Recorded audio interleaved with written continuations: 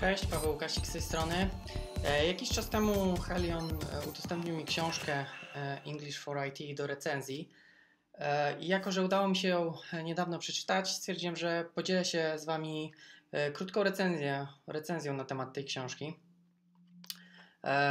Książka nie jest długa, ma jakieś 220 stron. Jest trochę dłuższa, ale tutaj jest słowniczek na końcu wszystkich, e, może nie wszystkich, ale e, słów, większości słów plus odpowiedzi do zadań, więc e, sam, sama treść jest trochę krótsza. Muszę powiedzieć, że ta książka mnie zaskoczyła, bo zacząłem czytać wstęp, tak, jest jakieś tam informacje, jak zbudowana jest książka, jak jest zorganizowane są rozdziały.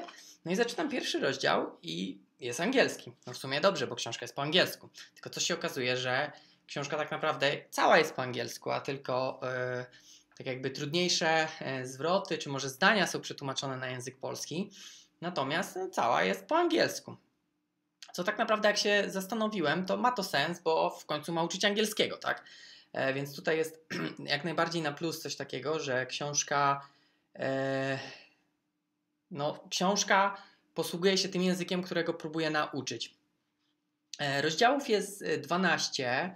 E, każdy zaczyna się tekstem. Teksty są różne, y, różne tematy są omówione. E, od takich podstawowych jak e, What is Information Technology, przez databases, e, How well do you know your computer, tak? czyli jakaś budowa komputera, czyli nie tylko to jest tematy związane z programowaniem. W zasadzie z programowaniem tematów nie ma. Jest trochę o big data, jest trochę o business intelligence, trochę o testowaniu.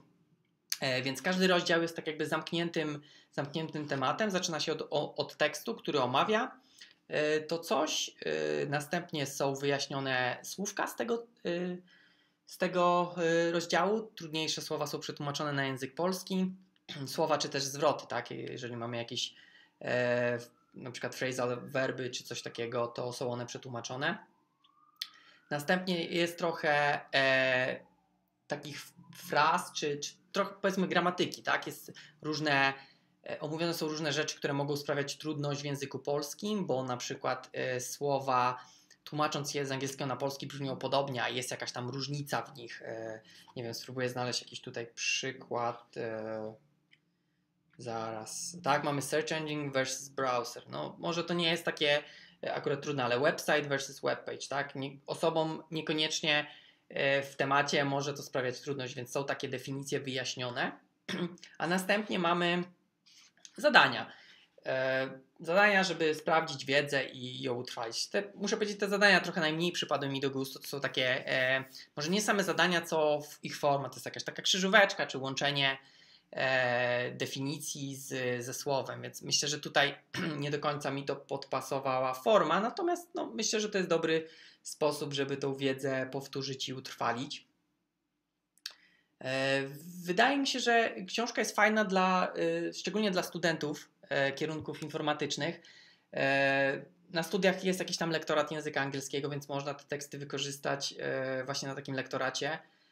No i oczywiście dla wszystkich, którzy powiedzmy nie do końca jeszcze język angielski w IT ogarniają, choć myślę, że takich osób za dużo nie ma. Natomiast E, fajnie jest, fajne jest to, że można przeczytać na różne tematy, których nie do końca jeszcze znamy, na przykład big data i dowiedzieć się o tym, a jednocześnie ćwiczyć e, słownictwo związane z big data e, angielskie, tak? Jak będziemy sobie szukać w Google jakichś informacji na ten temat, no to już będziemy mieli jakieś frazy czy zwroty, których będziemy mogli użyć, żeby mm, na ten temat coś poszukać.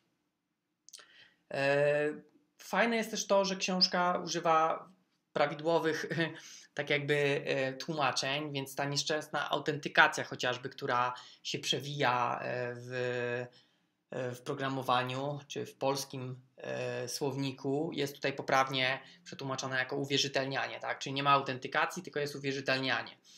Więc to jest fajne. Myślę, że warto sięgnąć po, po tą książkę. Można sobie trochę wiedzy na temat IT dowiedzieć się i jednocześnie poćwiczyć angielski.